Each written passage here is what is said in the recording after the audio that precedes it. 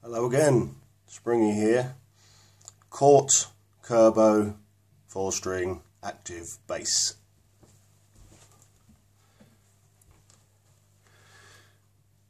As you can see, got a pretty fancy body on it.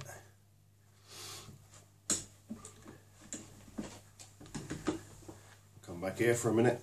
Okay, Cort Curbow bass. Greg Curbow um, designed loads of basses. Uh, slap bass was one of his fortes, so the body and all the electronics uh, sort of designed for that purpose. Uh, this one is typical four string bass. It's got about a million frets on this. The uh, fretboard is as long as the M1. Uh, 24th fret, 25th fret, 26th fret, three quarters of one, 27th fret, about half a fret. um, maple neck. The body is, again, with most of my guitars, strange. Uh, it's composite. It's some sort of fancy, weird plastic stuff. And the fretboard is also the same stuff. Um, I think it's uh, supposed to be, it's supposed to resemble um, ebony, but it's not. It's made out of some sort of plasticky resin thing. Um, but yet again, it really, really stiffens up the neck and helps with uh, keeping the tuning in place. Uh, the body and the neck don't seem to react very much at all to uh, temperature and humidity, which is brilliant. While we're here, it has one pickup, a Bartolini Mark 1. Um, it's active. Uh, it's really powerful. Uh, the bridge, probably just a Cort bass bridge, a cast, sort of like a die cast aluminium. Um, while we're here again, we've got, only having one pickup, master volume, and we've got a, a bass, mid and treble uh, EQ, like a boost, and then there's a, there's a center, center notch for each one. Um, and here, this switch, this switch upwards sends the sound, the signal, through the EQ. Uh, if it's in this position, it avoids the EQ and it's for the slap bass setting. Now the um, well, the tone settings for that position upside down on the back of course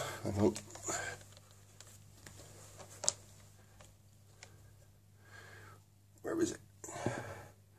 Some tiny little screws. Um, as you can see slap depth i.e bass tone and overall gain.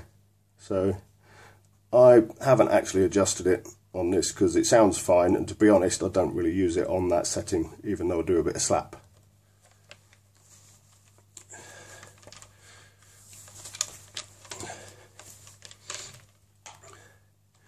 Machine heads, um, tuners, sorry. Not sure what they are but it's the same sort of die cast aluminium look as the bridge tailpiece. Uh, they're really smooth. They're like Grovers, um, but I'm not sure who made them. But they're really nice and um, they don't slip or anything. Nuts. Don't know what the nut is, but it works. Uh, I've put some pencil graphite in there just to help when tuning. Um, nice little removable truss rod cover. It's got a standard single truss rod in it. Uh, you can see this one was inspected whatever date is, can't see it. 4th of July 2007. I brought it on the 4th of July 2015. It was still brand new. Been sat in the shop all that time. It was upstairs. The guy didn't even know he had it. Because he's my mate in the music shop, we had a good old sift through his basses and we found this one. Brand new, still in all its packaging however many years old, uh, 2007, 2015, uh, seven, eight years old, never been touched. Um, and I got it for a silly price. These are, I think if you can still find one, I guess they probably don't even make them anymore.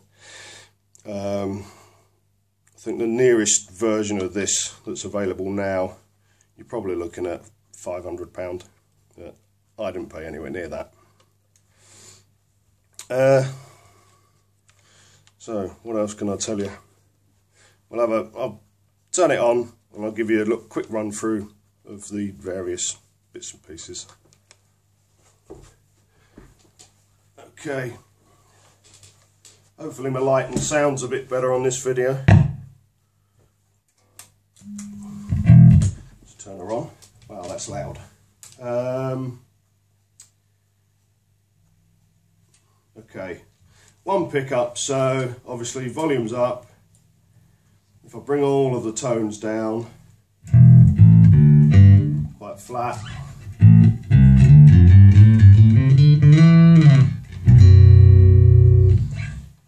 Roll the bass full on. Uh, actually, this doesn't work because I've got it on the wrong setting on the switch. Okay. Try again through the EQ this time. Everything off, volume's up, bass.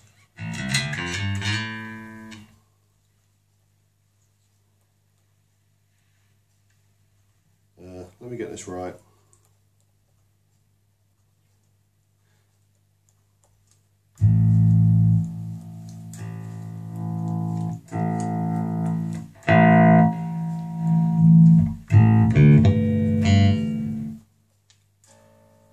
That's the volume. Okay. Uh,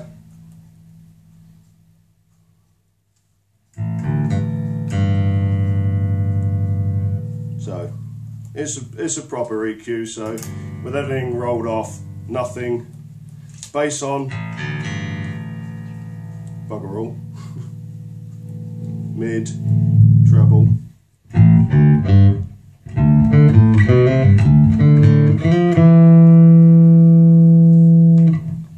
That's my usual setting.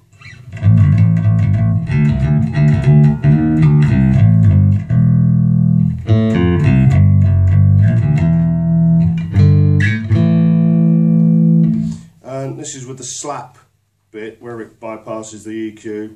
That's on.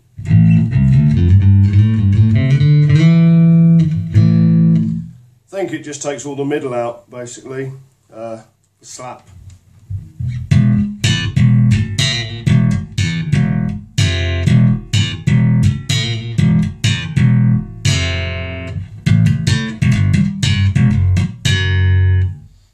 Did the same with the EQ in. be a lot louder and a lot brighter with some middle.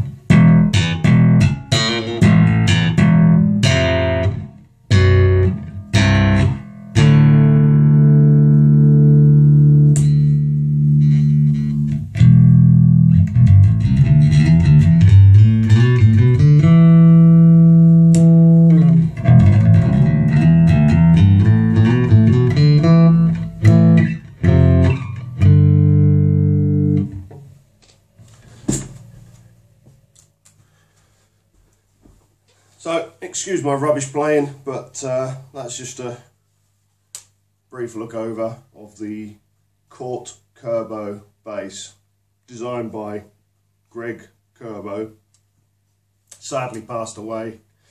Um, these are Curbow signature series, if you like, made by Cort, who make guitars in their factories in Korea for lots of other brands. If this was an actual Curbow bass, not a Cort Curbow bass, you'd probably be looking at three or four thousand pound for this. Um, but for a tenth of that price, uh, it's a really good bass. It's excellent. The sound's fantastic. I use it for recording because of the active circuitry. Um, and I recommend it highly if you can find one. The other thing is the body is tiny, as you probably noticed with my other basses. I do like a small bodied bass. Um, I've built a few in the past. Uh, I say I've built them. I've chopped up some other basses, hacked the wings off, horns, everything, and just made some real sort of cricket bat small designs. I just don't like hulking around a great big precision or jazz bass. I've had a few in the past and I just don't see the point. Um, and I'm in the camp that the, the the wooden construction of the bass, I personally don't think makes a lot of difference to the tone. I think it's all about the electronics, but that's a bit of a, a mute point. Um, I'll probably get slated for that. So if you know different, brilliant, whatever works for you. Anyway, thanks for watching. I've been Springy. Uh, next time, I'm going to have a look at the amps and the 10,000 pedals I use to make up for my lack of ability. Thanks for watching. I've been Springy. Cheers.